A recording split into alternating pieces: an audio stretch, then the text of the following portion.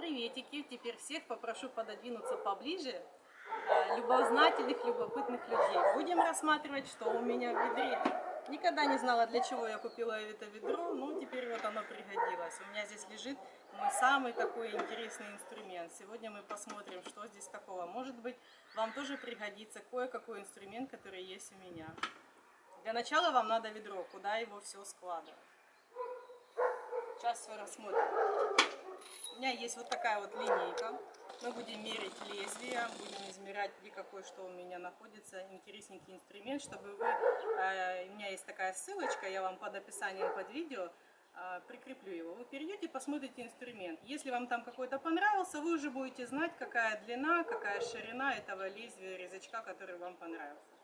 Значит, э, вам для начала, ну, самое простое, самое тяжелое, это вам понадобится такая вот кирочка, можно даже ее поменьше взять, э, чтобы оббивать и обчищать какие-то поверхности, чтобы что-то можно было лепить. Это стандартная, мерить мы ее не будем.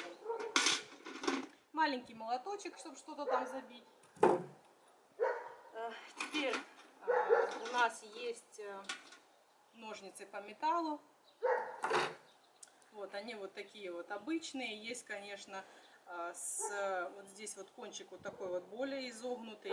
Ну, плюс есть левый и правый для левшей, для правшей. Вот у меня вот такие вот обычные ножницы. Я особо дорогие не беру, потому что все равно что-то куда-то попало, и они потом все равно режут не будут. Поэтому особо не заморачивайтесь на дорогие ножницы.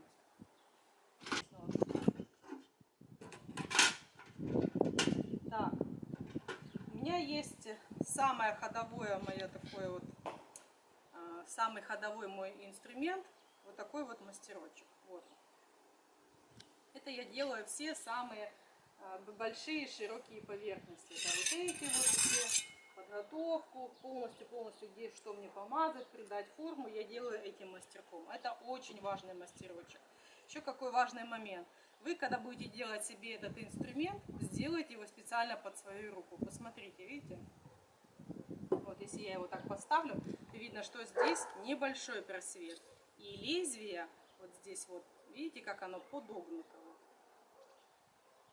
Здесь вот оно, получается, когда я беру, вот так вот прям полностью принимает форму моей руки. От этого мне легко им работать. А сейчас я вам его померяю длину. Он у меня 13 сантиметров. 13 с половиной, 13, ну, длиннее не надо, потому что будет неудобно работать. Вот, смотрите, 13 сантиметров его длина и ширина у него 5 с половиной. Вот здесь вот у основания, здесь получается у него 6, а тут он идет на заужение до, получается, у меня он уже подточенный, до 4. И кончик надо будет э, здесь э, скруглить. В общем, обратите внимание на то, как он сделан, что он сделан именно под мою руку. Вы, когда будете делать свой инструмент, тоже обратите внимание. Это немаловажно, чтобы инструмент был сделан под вашу руку. Потому что это самый ходовой мастерочек. Вы будете им часто пользоваться, лепить форму. И он должен, ну прям просто идеально лежать в руке. Тогда у вас все будет хорошо получаться. Вот такой вот мастерок. Следующий у меня идет немаловажный инструмент. Вот, он получается немножко меньше. Вот, видите? Здесь мы это сделали экспериментальное лезвие, это со шпателя. Видите, оно так вот гнется чудесненько. Здесь вот, э, ну, здесь есть ручка, вот когда шпатель вы берете, это как раз ручка от него, он так надевается сюда. Когда мы вытащили, здесь есть вот такое вот основание, к которому можно привариться. Иначе, если вы будете делать такую вот э, площадку и приваривать этой части, то у вас э, вот этот металл, он не выдержит, он сгорит. Либо вам нужна специальная сварка. Ну, у нас как бы обычный вариант, поэтому мы вот здесь приварили, и достаточно вот так хорошо он себя зарекомендовал. Вот этим мастерочком я леплю какие-то более тонкие детали. Когда вот этим вот все здесь форму сделала, я уже начинаю что-то такое детальное подлеплять. Вот по краям, здесь, здесь какие-то вот с листиком детали. Вот здесь вот я уже этим мастерочком могу работать. Сейчас я вам скажу его длину. Он у меня 11 сантиметров. И вот здесь вот широкая часть. 6 сантиметров. Получается везде вот это основание у меня 6 сантиметров. А потом оно и сходится как бы на ней. Два таких вот очень хороших мастерочка. Следующий у меня вот такой вот грубый мастерок. Это для черновых работ. Там где-то что-то почистить, оббить. Ну, такое, общем, грубое. Там что-то замешать, подмешать. Потому что это у нас денежный мастерок. Мы им зарабатываем деньги. Его бережем. Ничего им не стучим, не ломаем. Потому что вот здесь, если сварка отлетит, вам придется его заваривать. Здесь потом образуется шишка, ее надо будет стачивать, либо обрезать и делать, короче, лезвие. Так что, ребята, денежный мастерок бережем. Пользуемся вот таким вот черновым недорогим вариантом. Вот здесь специально длинное такое вот лезвие, ну, чтобы ее можно было что-то хорошенечко почистить. Он у меня точно так же 6 сантиметров у него ширина, и он более длинный, потому что 14 э, сантиметров, вот он получается не намного. Ну, практически одинаковый. Вот, видите, он чуть-чуть длиннее. Это черновой, для черновых работ. И вот пошли у меня вот такие вот художественные уже мастерочки, острые. Вот тоже эта ручка у меня, по-моему, с отверткой. Посмотрите, это коротышечка. Видите, вот такая вот. Я беру вот так вот, вот, вот так вот и беру что-то вот, вот такое вот конкретное, мне надо почистить, где-то сделать какие-то зарезки, подрезки, вот что-то там такое более четкое, потому что он очень хорошо, видите, как он хорошо здесь ложится в руку, и я могу им э, точечно что-то подрезать, э, где мне надо какая-то вот конкретная деталь. Вот он, это такой мастерочек, сейчас я вам покажу. Получается, ну, точно так же 6 сантиметров ширина у основания, и он коротенький, 7,5. Теперь у нас идут вот такие вот, вот такой вот острый резак. Это, по-моему, тоже у меня с отвертки ручка.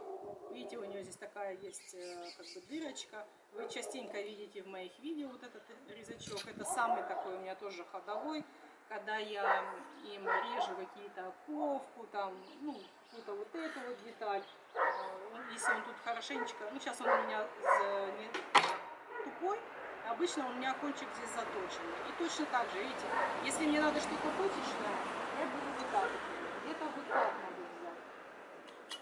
Он тоже чудесно ложится. И вот эту вот часть вот я использую для создания заклепок. Я частенько показываю, ну, частенько вы видите в моих видосиках, как я вот эту вот ручку в воду окунаю, и вот этой вот дырочкой я вот так вот делаю э, какие-то заклепки, где мне надо использовать. В общем, вот видите, вот такой вот у меня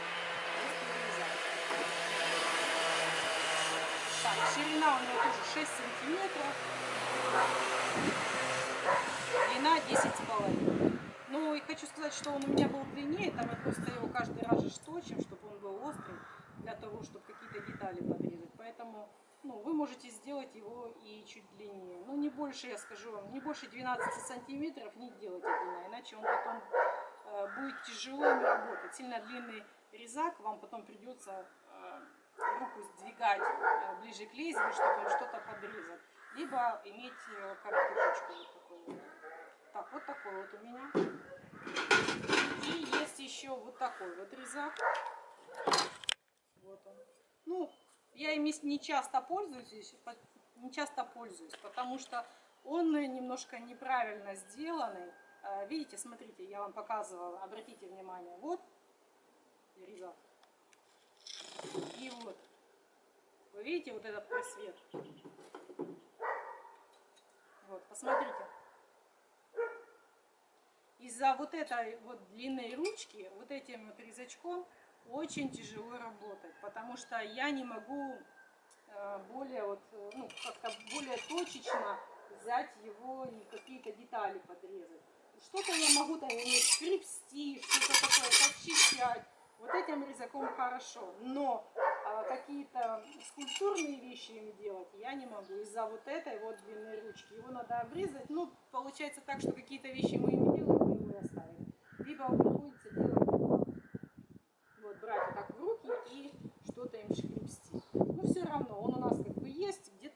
использовать. Этот, смотрите, этот у меня широкий резак, он 7,5. Вот эта ширина у него 7,5 на 12. Вот. Это вот это вот.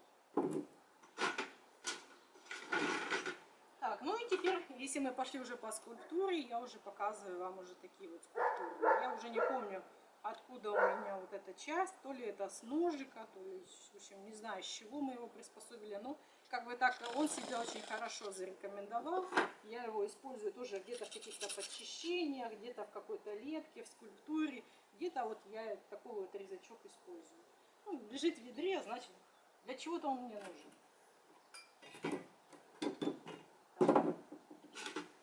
И вам сейчас я покажу еще несколько вот скульптурных деталей. Смотрите, вот, вот эти мастерочки, вот они, они продаются в художественном магазине. Это мастихины. Ну, если бы художники увидели, они бы сейчас бы меня запинали, что я с ними сделала. Потому что они э, покрыты специальным таким напылением для того, чтобы когда работаешь масляными красками художественными, э, масло с них очень хорошо как бы ну, краска ложилась на холст. Но так как мы же не работаем такими вещами, а используем их в растворе, известь, которая находится в растворе, это покрытие съела, поэтому оно у нас поржавело. Ну, скажу, особо мне оно ни на что не повлияло, поэтому мы почистили и дальше работаем. Ну, видок, конечно, у них жутенький. Вот есть вот этот мастерочек, смотрите, вот такой. Ну, как его померить, я не знаю, но хотите, я вам его померю. Это обычные стандартные стандартные. Вы можете в художественном магазине зайти и выбрать, какие вам нравятся. Смотрите, какое у них преимущество. Они, видите, вот такие вот гибкие. Они очень хорошо гнутся. Так, ширина у основания у них 3 сантиметра и на длину 6. Вот он такой чудесный. Но так как я частенько работаю вот таким мастерком, вот видите, он ну, как бы ложится, я уже привыкла жестко держать его в руке, то вот таким, когда вы вот так работаете, это надо, конечно, приловчиться к нему, чтобы научиться им работать. Либо вот так вот намазывать. В общем, это своя техника. И за счет того, что вот эта часть, она не так, как у нас, вот видите, выгнута, а лезвие сюда вверх вытащено. Поэтому ну, специфический такой мастерочек, им надо научиться работать. Но им очень хорошенечко делать вот эти вот вещи. Вот видите? Вот эти. Потому что а, вот таким вот мастерком, это очень а, такая вот грубая работа, не сделаешь. А вот этим вот так чудесно здесь, вот эти вот, вот эти вещи какие-то, тут, тут, или вот эти мелкие, либо камушек подлепить точечно. Вот это замечательно, конечно, подойдет вам. И вот такой вот. Я когда лепила листик, вот, вот этот вот, то потом уже на точечную подрезку я использовала вот этот мастерок. Вот, вот эти вот все вещи, тут, тут, вот это все. Вот это я подрезала вот этим мастерочком. Ширина у него получается полтора, ну, ну может быть до двух. Конечно, нет два. Получается, если более точка, точно 18 у него получается миллиметров. Вот эта ширина и длина 5 сантиметров. Вот, это вот такой вот мастерок. И есть еще вот такой. Здесь он вообще такой вот как бы странный. Тут у него ширина э, сантиметр, а длина получается 6,5. Вот, вот такой вот. Э, в этой скульптуре я его не использовала, поэтому он как бы, ну, где-то я его использую в каких-то вещах. В общем, такая штучка у меня есть, где-то пригодится тоже. И вот у меня еще самодельная такая штука. Это ножик обычный, просто выгнутый, нагрели и выгнули его. Очень вообще он мне здесь пригодился, когда мне надо было вот эти вот вещи зачистить получается вот как-то э, вот этот жалко, потому что здесь лезвие очень тоненькое и гнется, то здесь, как у ножа, очень толстое лезвие и чудесно, и можно что-то где-то выдолбать, подстучать, что-то такое под, э, подчистить, где-то ну, такие какие-то грубые работы провести, вот это классно. Если ножиком вот так как бы тяжело, то видите, за счет того, что мы его выгнули в обратную сторону, он выполняет функцию такого же мастерка, как у нас ну, все со стандартной у нас поверхностью. Поэтому вот это очень классная вещь. Ну тоже, ну как нож, у него где-то два, два с половиной ширина и я даже не знаю сколько здесь. Около 9 длина вот такой вот штучки. И теперь у нас получается наши кисточки идут. Вот, если видите, такие вот такие вот кисточки. Для работы, для своих вот этих всех скульптурных дел, ребята, не берите вот эти дорогие кисточки. Она вот у меня есть, но я специально ее положила, чтобы вы понимали. Вот чем толще вот эта вот щетина, вот здесь вот широкая часть, вы когда будете что-то делать с раствора, раствор где-то здесь останется. И потом кисточка разлохмачивается, и очень тяжело ей что-то там вот такие вещи метелить. Либо вы такую кисточку покупаете и оставляете для точечных зачистных работ, что вы будете только по сухому ей что-то тереть. Либо вообще ее не берите, потому что она дорогая, а вот если ей замывать, э, ну, это тяжело. Она потом все равно вот здесь вот забивается и создает вам проблемы. Но для сухих вещей каких-то, пожалуйста, эта кисточка чудесная. А здесь написано, что она сейчас 101 миллиметров. Ну вот она получается 9, ну пусть 10, 10 сантиметров ширина у нее. Вот такая вот кисточка. Эти вот тоже, вот видите, по десятке написано. 10 и это 10, вот они. Вот эти самые вообще сказка. Они недорогие. Купили их там штук 10 и все. Одну для замывки для воды оставили, одна у вас должна быть постоянно в ведре с водой, а это сухая кисточка после того, как все подсохло и вам надо что-то подрезать, вы будете уже вот сухой кисточкой что-то вот так вот обтирать. Вот. Это самые такие недорогие кисточки. Пластмассовыми ручками я не беру, потому что они когда расшатываются, вы их не можете потом не зафиксировать, не закрепить. Если это расшаталось, или там, допустим, заклепочка вылетела, вы сюда какой-то гвоздик вбили, шурупчик вкрутили, дальше кисточка ходит. С деревянной ручкой вообще, вот, самый недорогой вариант. Ну и точно мы, такая вот небольшая кисточка, она 50, 50 5 сантиметров а вот ее ширина. Это ну, для скульптурных вещей, когда чтобы грубой кисточкой замывать не, ну, как бы не повредить деталь. Вот у меня есть такая небольшая. Ну и щетка по металлу, это обычная латунная щетка. Ну, она у нас уже немножко проржавела. Вот. Обычная стандартная щетка, вы часто ее видите. Мы и стены защищаем этой щеткой, и набиваем фактуру на камнях. Вот, просто обычная щетка. Но когда вы ее покупаете, она более плоская. Мы берем молоточек, и вот здесь вот, вот тут надо ее э, разбить и плоскогубцами распотрошить, чтобы она была вот такая более такая широкая, лохматая, чтобы она дала вам хорошую фактуру. Вы можете приобрести себе две щетки. Одну для зачистки, а одну как бы для вот этих вот скульптурных фактурных дел. И тоже, когда вы ее разлохматите, у нее будут ворс торчать в разные стороны. Э, и, ну, это если использовать ее в, э, при нанесении фактуры, вот как мы делаем дерево, сухое бревно, то тоже вот это все должно быть разлохмачено. Когда вы сделали поверхность, вот так вот потом потянули, вот эти вот э, края дадут вам красивые бороздочки. И будет у вас красивый эффект сухого дерева. В общем, вот это тоже очень крутая вещь щетка. Вот классная. Не широкая, именно вот такая вот латунная. Ну и вот этот вот резачок вы все знаете. Вот он у меня вот такой, этот, я даже не знаю, это мне Женя сделал. Такая вот ручка красивая даже у него. А, мы нарезаем русты на камнях. И вот я этот резачок использовала, чтобы нанести вот такой вот рисунок на вот таком вот грибочке. Вот это рустовка. Делаем шов, там шкрябаем, может где-то еще в каких-то вот вещах она очень даже чудесно пригождается. Если вам надо сделать на камне более такой широкий шов, то вы просто берете вот эту часть, разгибаете, либо сужаете. Как бы тоже универсальная вещь. Ну, я не знаю, тут ничего мерить. И вот посмотрите еще тоже, какая классная у нас э, такая вот штучка. Это вообще чудесный прибор. А ручка сделана из эм, валика. Вот она получается, когда вы стучите, стучите ею, то вот здесь вот амортизируется удар. Получается, меньше удар идет на кисть. Поэтому, э, ну как бы вообще чудесно. Не выкидывайте. Гляньте, как приспособить можно какой инструмент. Если сделать просто жесткую ручку, э, без вот этой вот пластмассовой части, то тяжело. Если там большие квадраты надо вот дырочки эти натыкивать, то рука потом вот здесь вот болит. То вот с этой вот ручкой вообще красота.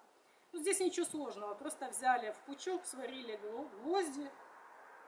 Я вот не помню, что, ну, не знаю, какая здесь толщина их. В общем, вот, вот так. Вот такие вот гвозди. И просто набиваем себе дырочки, где надо. Если даже где-то поверхность какая-то подсохла, то вот смотрите, видите, как вот здесь. Вот я вот здесь вот эти штучки вот так натыкала, и получились, смотрите, какие красивые тут камушки. Вот это все этой штукой.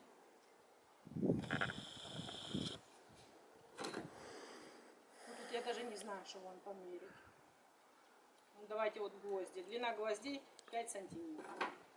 Потому что если они будут длиннее, то они при ударе вот здесь вот будут выламываться, и они все равно будут вот так вот сходиться, расходиться, и будет рисунок не очень хороший. Поэтому сильно длинные гвозди а, здесь не, ну, не переваривайте. Это, получается, были большие гвозди, их обрезали и вот так вот чуку наварили. Так что вот такой вот инструмент. Очень классная штучка. Ну и самое у меня вот, самое интересное стало, это перчатки. Ручки свои надо защищать, поэтому перчатки немаловажная такая деталь. Смотрите, это перчатки для грубой работы. Вот, есть вот такие зеленые, есть вот синие. Но это вот на мужскую руку, а это я так поняла, что такие на более мелкий размер руки. Потому что это L, а это вот M.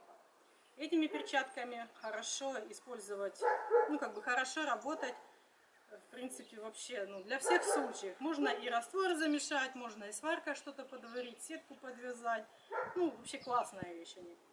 Вот, я вам просто показываю, что есть такие, такие вот. Они какие-то прорезиненные, очень мягенькие. Они вообще руку особо не сковывают. Смотрите, вообще чудесно.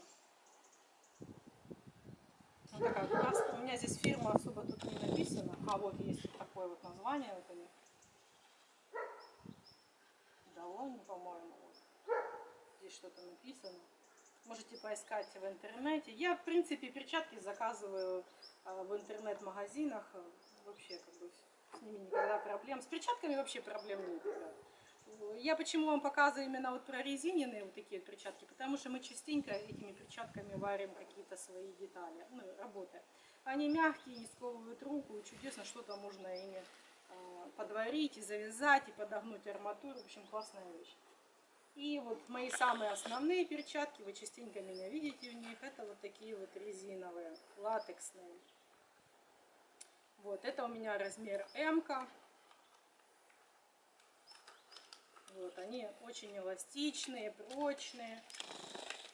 Вот видите, вот такие вот, посмотрите. Вот я беру их, тяну, они замечательно выдерживают вот эти вот нагрузки. Вот. Это размер М. -ка. Есть S, L, XXL. Сейчас я вам покажу упаковку. Потому что тоже вы меня частенько спрашиваете какими перчатками я пользуюсь.